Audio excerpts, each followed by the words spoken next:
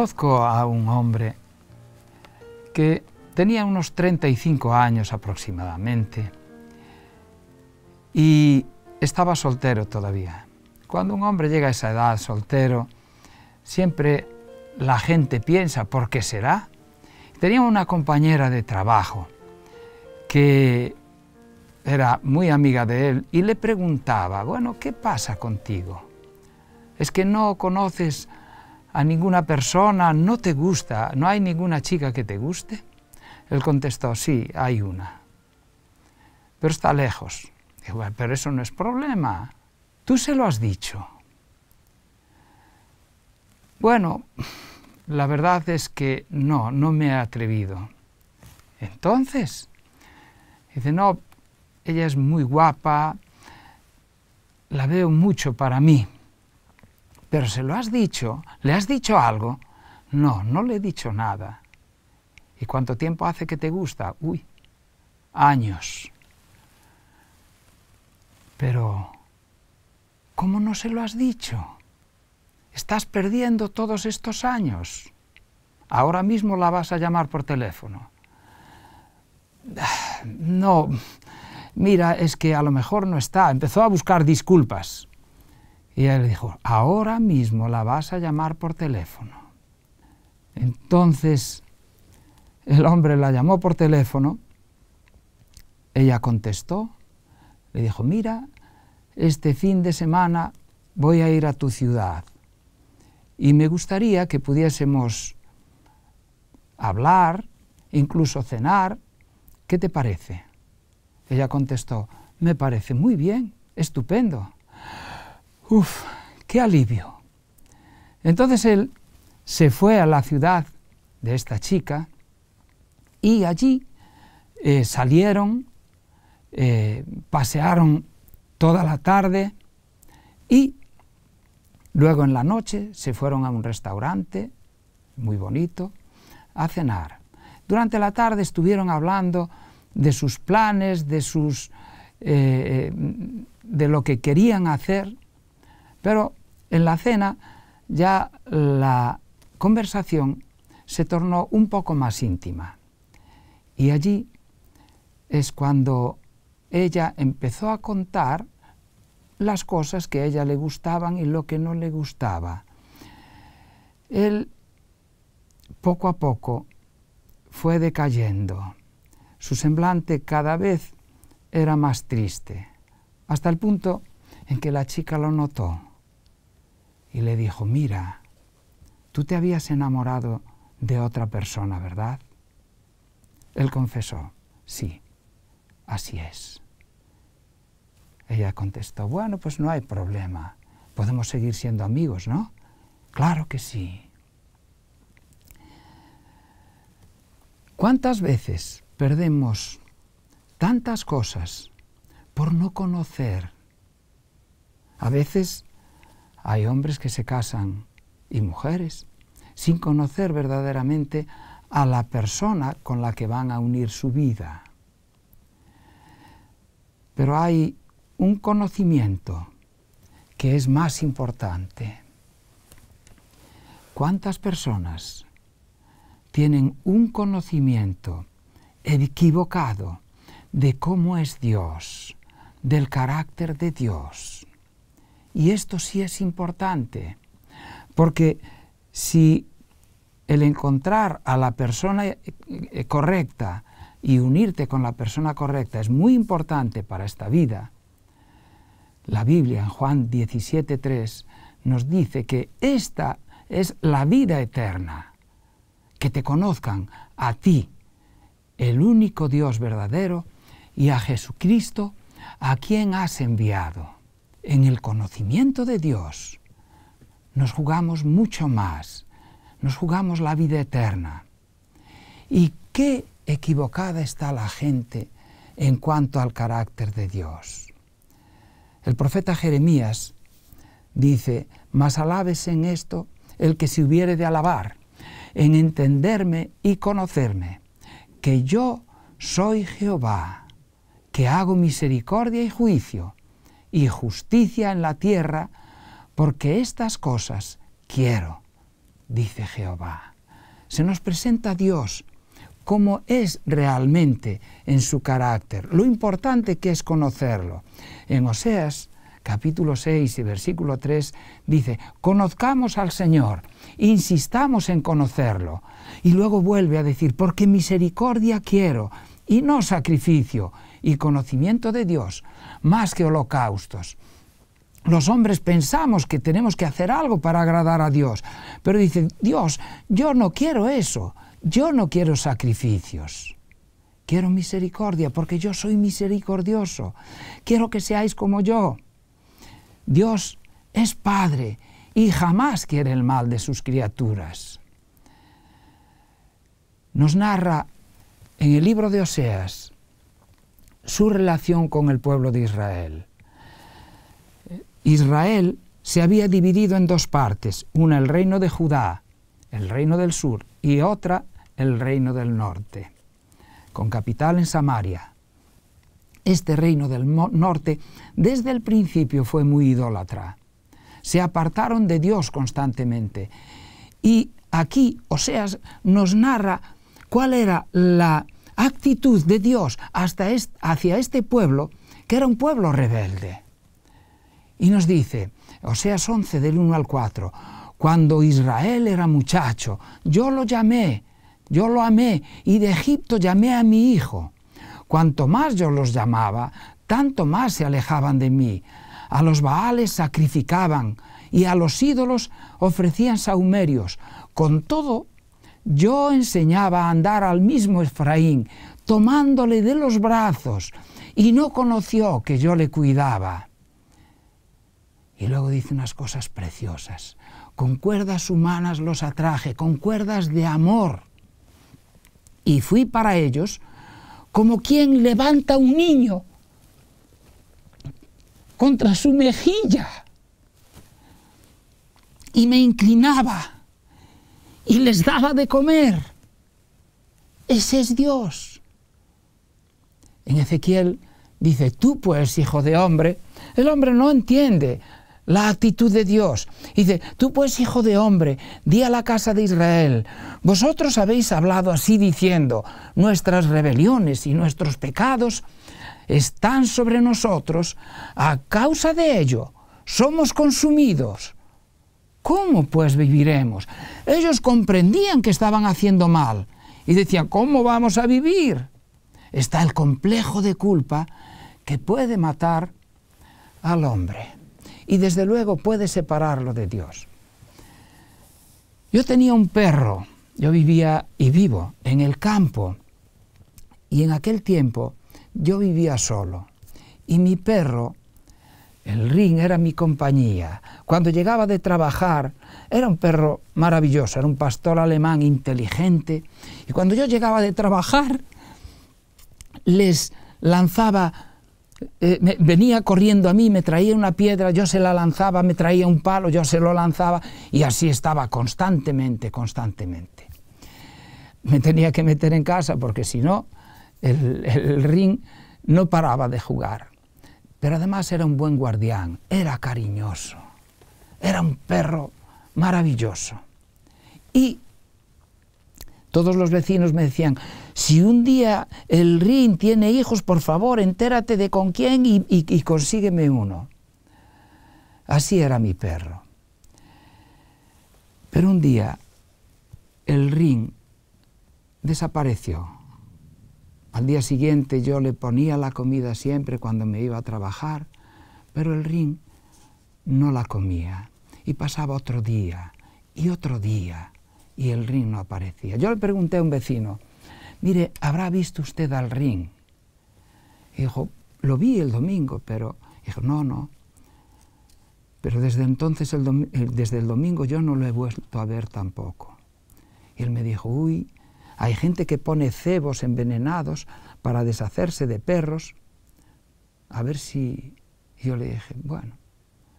Y él me dijo, ¿quieres que te lo ayude a buscar? Y dije, no. Si está muerto no quiero saberlo.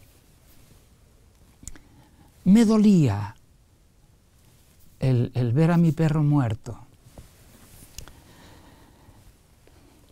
Pasaban los días el rin no aparecía. Yo llegaba por la noche a casa y oía y, un chirrido y miraba, ¿será el rin? Y no era un pajarito que estaba allí en el cierre. Y otro día igual, ya estaba acostumbrado a los chirridos. Un día oí un chirrido, ¿eh? será otro pajarito. Y entonces estaba abriendo la puerta y miré para atrás y vi así en el jardín como un montón de tierra. Y dije yo, ¿y eso? ¡Ring! Y se encogió. ¡Es el ring! Entonces encendí la luz, me fui a mi perro, lo agarré, lo abracé y él empezó a chillar porque estaba lleno de heridas. Había ido detrás de una perra con otros perros y seguramente se habían peleado y a él le tocó de llevar las suyas. Y entonces lo metí en casa y le curé las heridas. Estaba contento de tenerlo allí. Rin, qué bueno que estás en casa. Y el Rin hacía así. Pero Rin, si soy yo tu dueño.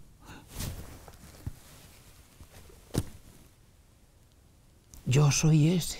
Yo soy el Rin. Cuando me porto mal, no me atrevo a hablar con Dios. Pienso que quizás Él se va a enfadar conmigo y que seré un hipócrita si le digo algo. Somos así los seres humanos. Sin embargo, Dios dice, diles yo, dice Jehová, el Señor, que no quiero la muerte del impío, sino que vuelva de su camino y que viva. Volveos, volveos de vuestros malos caminos. ¿Por qué moriréis, oh casa de Israel?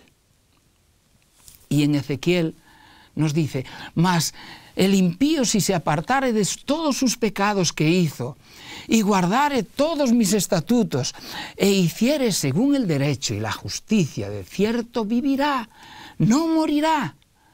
Todas las transgresiones que cometió no le serán recordadas. En su justicia que hizo, vivirá. ¿Quiero yo la muerte del impío? Dice Jehová, el Señor. No vivirá si se apartare de sus caminos?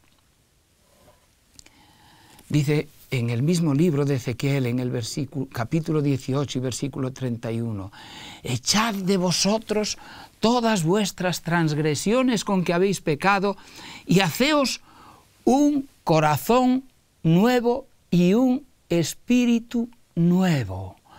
¿Por qué moriréis, oh casa de Israel? ¿Ah? Ahí está el problema, hacernos un corazón nuevo. Pero yo tengo un corazón que es muy egoísta. ¿Cómo puedo cambiar yo mi corazón si es egoísta?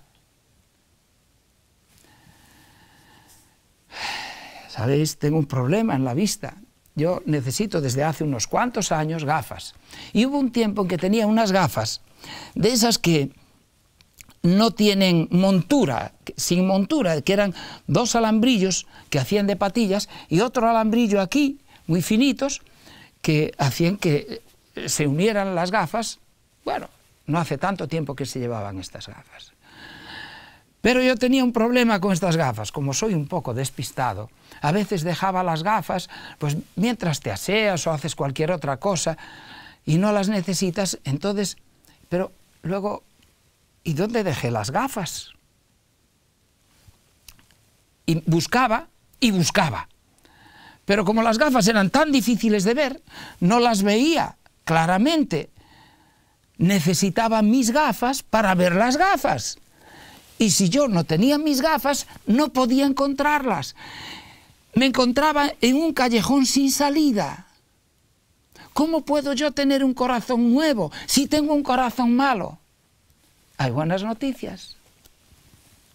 Dice el mismo libro de Ezequiel, os daré un corazón nuevo y pondré un espíritu nuevo dentro de vosotros y quitaré de vuestra carne el corazón de piedra y os daré un corazón de carne y pondré dentro de vosotros mi espíritu y haré que andéis en mis estatutos y guardéis mis preceptos y los pongáis por obra. Porque el hombre no es capaz de producir el, el cambio. También la Biblia nos dice, mudará el etíope su piel o el leopardo sus manchas. ¿Cómo vosotros podéis hacer el bien si estáis acostumbrados a hacer el mal, si en vuestra carne mora el mal? Este es nuestro problema. Pero hay buenas noticias. Dios desea la restauración, no la eliminación. Somos sus hijos, sus hijos queridos, Dios lo más querido para rescatarnos. Y Cristo nos cuenta una parábola, la parábola del hijo pródigo. La recordáis, ¿verdad? No la voy a repetir toda. Es un padre que tiene dos hijos. El menor le dice, Padre, dame mi parte de la herencia, me quiero ir, me voy de casa y se fue de casa.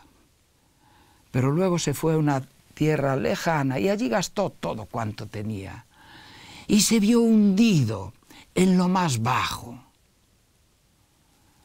Tenía que cuidar cerdos y tenía que echarles de comer a los cerdos. Y quería comer la comida de los cerdos y no le dejaban. Quería comer las algarrobas que él tenía que echarle a los cerdos y ni eso tenía, se estaba muriendo de hambre. Y entonces recapacita y dice,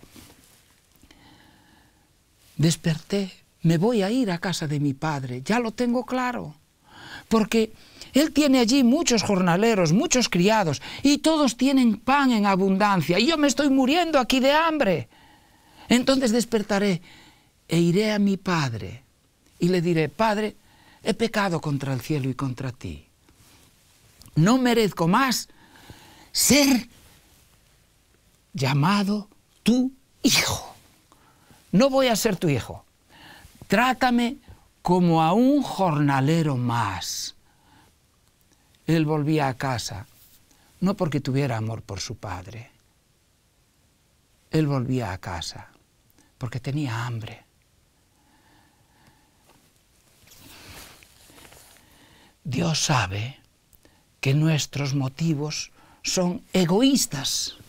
Nos conoce, pero aún así nos recibe. A él lo motivó la falta de pan. ¿Estaba en lo correcto? No. Era hijo, no era un criado.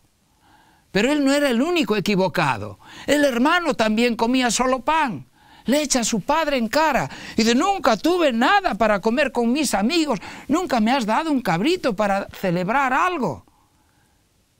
Y el padre le dijo, hijo, pero si lo tienes todo, todo lo mío es tuyo, lo tuviste siempre. Estaba viviendo como un miserable.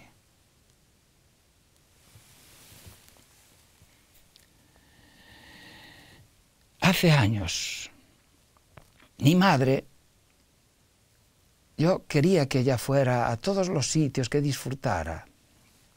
Y le pagué para que fuera con otras amigas a un hotel. Y en ese hotel, pues estaba todo pagado. Había self-service y ellas podían comer lo que quisieran y tenían todo pagado allí. Entonces, cuando volvieron, una de ellas me dijo, oye, me pasó una cosa con tu madre que te la voy a contar. ¿Qué es? Dice, mira, que cuando volvíamos con la comida, yo vi que ella solo traía pan. Le dije, ¿pero qué? ¿No tienes hambre? ¿Por qué traes solo pan? Dice, porque no quiero que le salga caro a mi hijo. Estaba todo pagado. Todo estaba pagado. Hermanos, amigos, todo está pagado. Somos hijos de un rey, de un Dios que nos ama de todo corazón.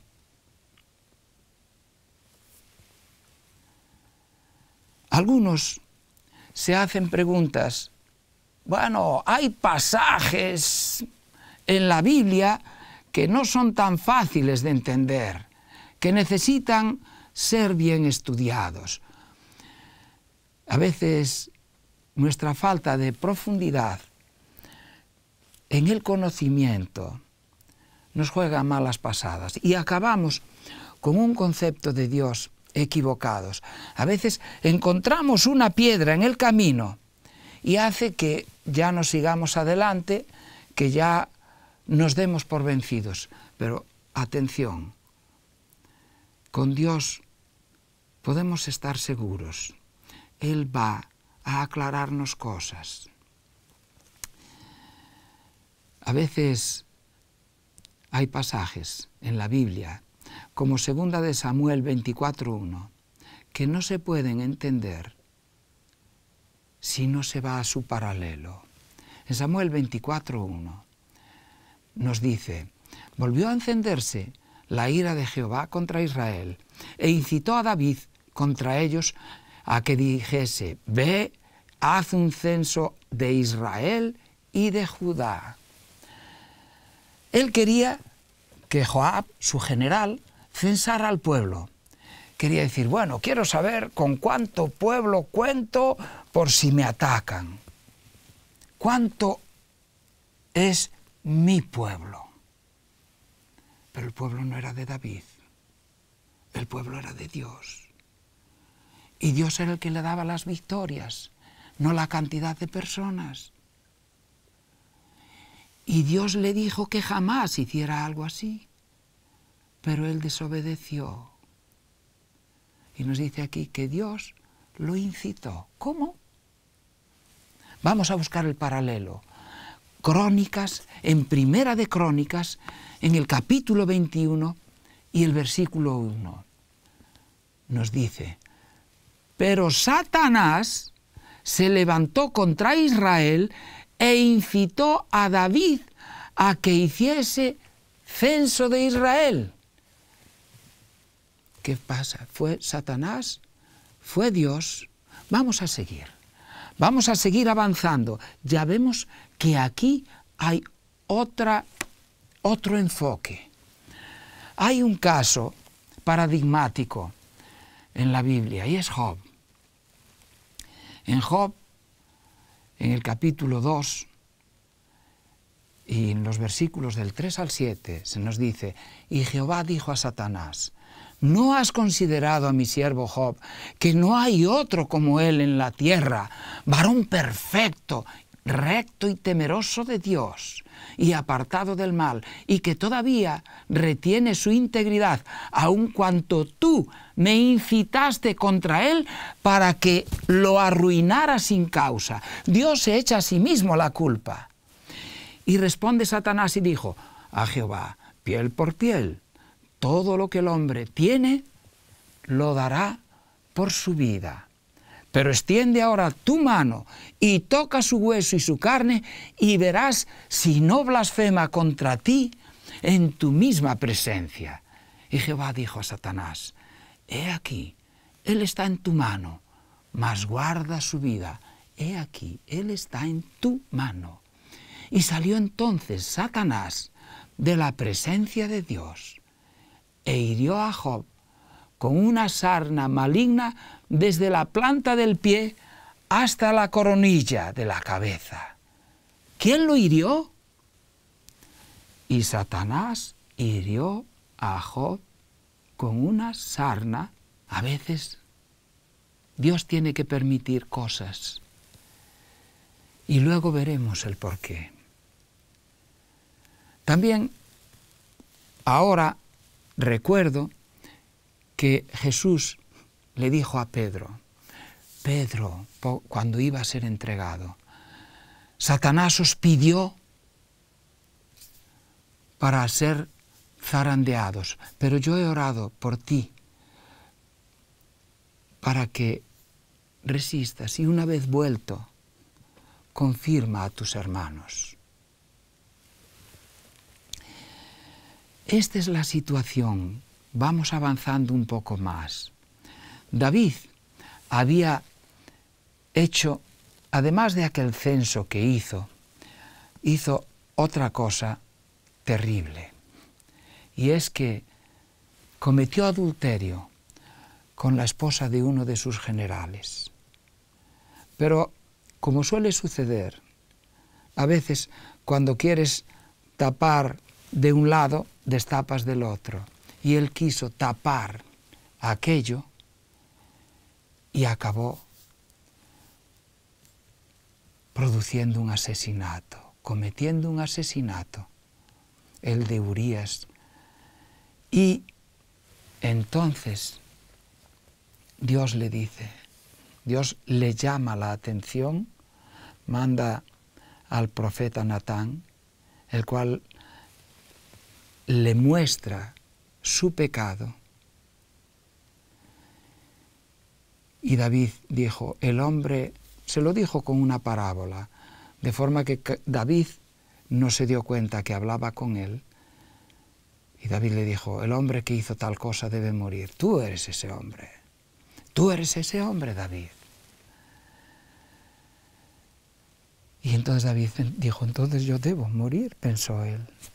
Pero Natán le dijo, mas por cuanto con este asunto hiciste blasfemar a los enemigos de Jehová, no vas a morir tú, pero sí el hijo que te ha nacido. Nos quedamos con la primera parte, mas por cuanto por esto que has hecho, hiciste blasfemar a los enemigos de Jehová. ¿Quiénes son los enemigos de Jehová? Es Satanás y sus seguidores. ¿Y cómo blasfeman? Satanás, y eso se ve muy bien en el libro de Job, está intentando acusar al ser humano, a este hijo de Dios que fue hecho a su imagen y semejanza y que Dios mismo se hizo hombre para venir a rescatar y está intentando hacerlo eh, eh, caer. ¿Y para qué? Para poder blasfemar el nombre de Dios. Estos son los que tú escogiste. Este es tu amigo David, al que tú dices que tiene un corazón como tú quieres. Fíjate lo que hace, a dónde lleva tu reino. Esa es la blasfemia y los seres de otros mundos se quedan pensando en lo que Satanás acaba de decir. ¿Es justo Dios? ¿Es bueno Dios? ¿Es justo? ¿Da libertad realmente? Dios no destruye ni tienta, pero asume. ¿Por qué? Porque permite. Porque, al igual que en un juicio, Dios tiene que permitir que el enemigo pueda hacer su obra, pero nunca es su propósito. En una ocasión estaba con mis hijitas pequeñitas en una tienda, una tienda de ropa, había mucha gente y ellas muy inquietas.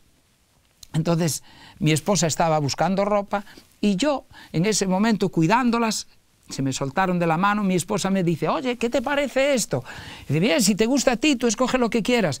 Y cuando fui a mirar, ya venía un empleado de la tienda y me dijo, oiga, ¿estas niñas son suyas? Eh, pues, sí, ¿por qué? Acaban de tirar, nos acaban de hacer allí una faena, tiraron un montón de ropa que estaba bien colocada. Pues lo siento, perdóneme. Yo asumí la culpa pero, ¿por qué asumí la culpa? Si lo hicieron las niñas, es que son mis hijas. Yo respondo por ellas. Dios responde por nosotros. Él es nuestro abogado. Desea protegernos. ¿Y cómo nos puede proteger Dios? De varias formas. Primero, en su terreno. Dios puede protegernos cuando estamos en su terreno. El Salmo 91 dice, el que habita al abrigo del Altísimo morará bajo la sombra del Omnipotente. Es decir, si yo estoy bajo la protección de Dios, Dios me va a guardar. Satanás acusa a Dios de favoritismo con respecto a Job. Le dice, claro, lo tienes rodeado, lo tienes rodeado para que yo no le haga daño. Claro, porque Job estaba en el terreno de Dios. Y ahí nosotros somos protegidos, incluso de la enfermedad. Dice Dios en Éxodo, si oyeres atentamente la voz de Jehová tu Dios, e hicieres lo recto delante de, de sus ojos, y dieres oído a sus mandamientos y guardares todos sus estatutos, ninguna enfermedad de las que envié a los egipcios te enviaré a ti, porque yo soy Jehová tu sanador. Eso de envié, entendámoslo en el contexto que acabamos de hablar. Permití que Satanás obrara ahí, porque los egipcios son idólatras, despreciaron a Dios, al, verdadero Dios, y entonces estaban en otro terreno, en un terreno distinto. Pero dice, yo soy tu sanador. Si tú andas en mis caminos, si tú miras, escuchas lo que yo te quiero decir, yo tengo en mi palabra, tengo consejos para tu salud, tengo consejos para tu vida, tengo consejos para tu matrimonio, para la educación de tus hijos. Si tú andas en mis consejos, yo me responsabilizaré, incluso para tu, eh, para tu economía, yo me responsabilizo de que no haya justo desamparado ni su simiente que mendigue pan. La segunda forma en la que Dios nos puede proteger es una forma un poco más fuerte. Es en el arrepentimiento. Cuando hay un arrepentimiento verdadero. ¿Sabéis? Había un, rey, se llamaba Manasés, un rey terrible. Había hecho cosas espantosas. Había aserrado al profeta Isaías, quemó a su hijo, ofreciéndolo a un dios sidonio, a Moloch, un dios terrible, que exigía la muerte de los primogénitos en unos brazos candentes. Ahí tenía que quemar a su hijo. Y había hecho cosas así. Y la Biblia dice que había hecho cosas peores. Había llenado a Jerusalén de sangre inocente. Y en Segunda de Crónicas 33, ahí es donde se nos habla un poco de la historia de este hombre malvado, se nos dice que hizo más mal que todos los cananeos expulsados. Y habló Jehová a Manasés y a su pueblo, mas ellos no lo escucharon, por lo cual Jehová trajo contra ellos a los generales del ejército del rey de los asirios, los cuales aprisionaron con grillos a Manasés y atado con cadenas lo llevaron a Babilonia. Y luego viene la siguiente parte, que es la que yo no puedo entender si no conozco a Dios. Y habiendo orado él, fue atendido pues Dios oyó su oración y lo restauró a Jerusalén su reino. Entonces reconoció Manasés que Jehová era Dios. Dios no quiere matar, quiere salvar, quiere restaurar. Este es Dios. Hubo otro rey Manasés era de Judá. Ahora hablamos de un rey de Israel, el peor de todos. Se llamaba Acab. Estaba casado con una mujer perversa que se llamaba Jezabel. Y hizo muchísimo mal. Dice, ninguno fue tan malo como Acab, dice la Biblia en Primera de Reyes 21, que se vendió para hacer lo malo ante los ojos de Jehová, porque Jezabel su mujer lo incitaba él fue en gran manera abominable. Sin embargo, cuando Acab, Dios le manda un profeta y le dice, mira, vas muy mal, vas a acabar destruido, yo a ti no te puedo defender así más eres indefendible. Estás totalmente fuera del terreno donde yo lo único que puedo hacer por ti ahora mismo es advertirte. Y lo advirtió por amor a él. Cuando Acab oyó las palabras del profeta, nos dice la Biblia, rasgó sus vestidos y puso cilicio sobre su carne y ayunó y durmió en cilicio y anduvo humillado. ¿Sabéis cuál fue la reacción de Dios? Entonces vino palabra de Jehová a Elías Tisbita y le dice, ¿no has visto cómo Acab se ha humillado? ¿No has visto? Se convirtió, se humilló. Pues por cuanto se ha humillado delante de mí, no traeré el mal en sus días. Dios es maravilloso, aún con los perversos. La palabra misericordia, Dios es misericordioso.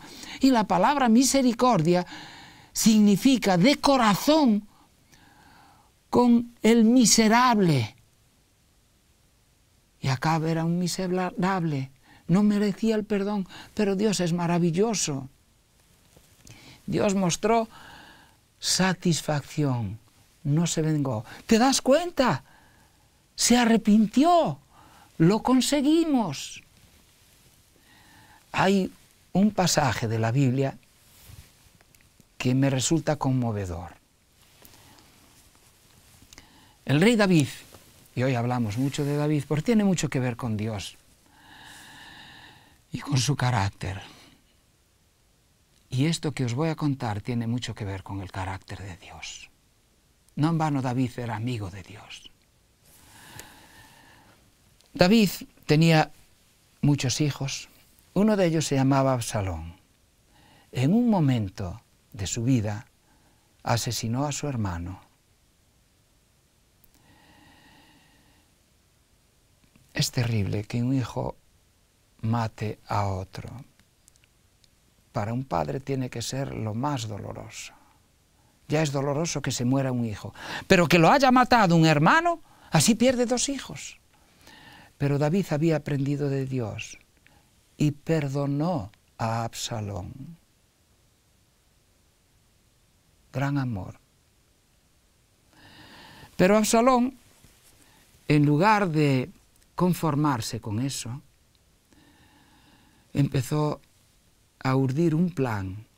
Se sentó en la puerta del palacio y allí empezó a ver a la gente que venía a pedir justicia. Y él les decía, ¿pero qué es lo que te pasa? Bueno, me pasa esto, y es que yo necesito que me hagan justicia. Y Absalón decía, bueno, mi padre está muy ocupado para esas cosas. Si yo fuera el rey, yo sí que te iba a atender bien. Además, él ya es muy mayor, ya eso. Si yo fuera rey, claro que tienes razón. Y dice la Biblia que así se había ido robando el corazón de todo Israel, hasta el punto de que en un momento dado ya él percibió que tenía a la mayoría del pueblo de su parte y se levantó contra su padre. Pero no le llegó con levantarse, quiso hacer la guerra a su padre, destronarlo, y cuando se valoró la posibilidad de hacer una cosa u otra, alguien dijo, bueno, lo mejor será que vayamos y matemos directamente a David, y así se acabó el problema y se acaba la guerra. Y él dijo, de acuerdo, lo primero, matar a mi padre.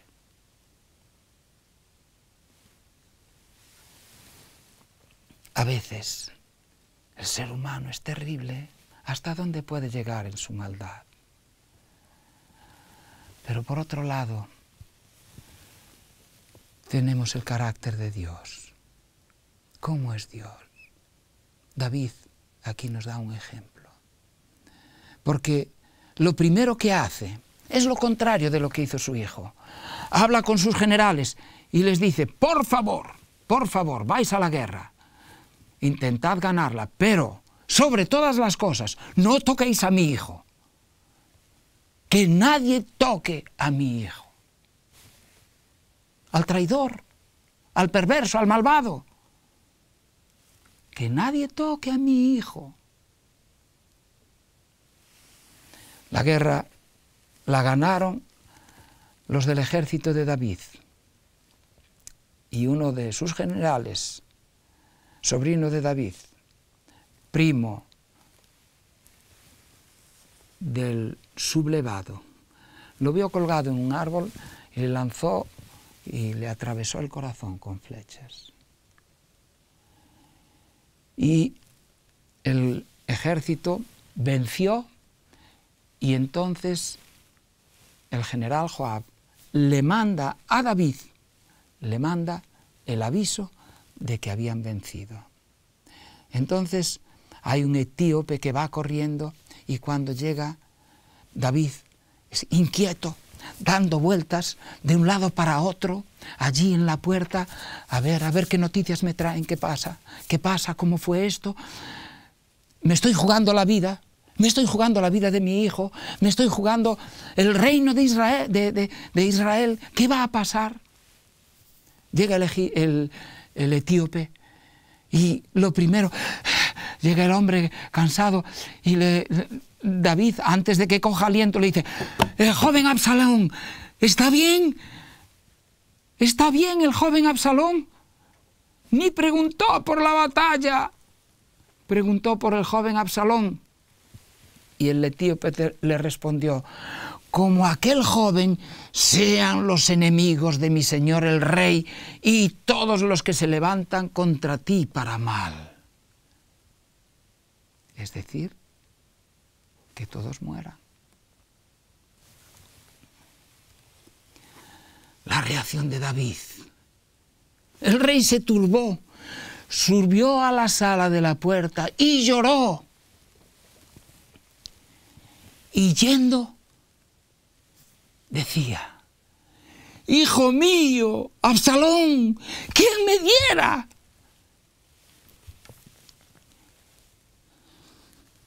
Que yo muriera en tu lugar. Absalón, hijo mío.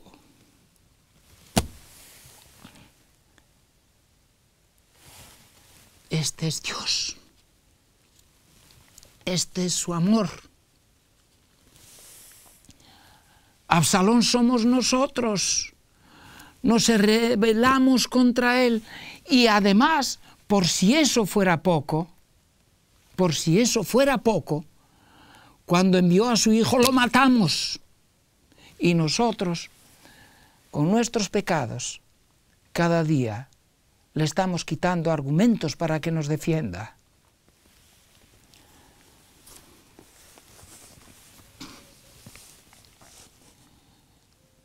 Te invito a que profundices en este Dios que es maravilloso, que te ama con todo su corazón, que tiene los mejores manjares para ti, es decir, una vida dichosa aquí, la buena educación para tus hijos y además la vida eterna con Él. Dios tiene lo mejor de lo mejor, cosas que ni oído yo, ni han subido a corazón de hombre, guarda para ti y para mí. Yo quiero entregarle mi corazón, se lo entregué y se lo quiero entregar cada día. Se lo entregarás. Que Dios te bendiga.